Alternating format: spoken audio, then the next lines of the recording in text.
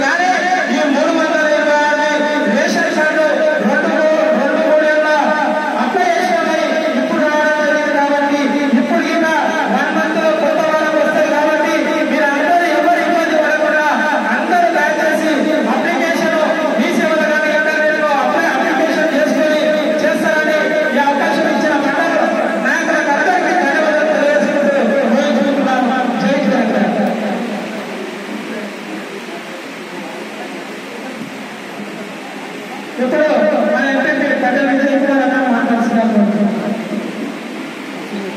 నేటి కార్యక్రమానికి మీరు చేసినటువంటి గౌరవ ప్రజలు కోడతో శాసనసభ్యులు పద్మహేందర్ రెడ్డి గారికి ధన్యవాదాలు తెలియజేస్తూ వేదికపై ఉన్నటువంటి పెద్దలు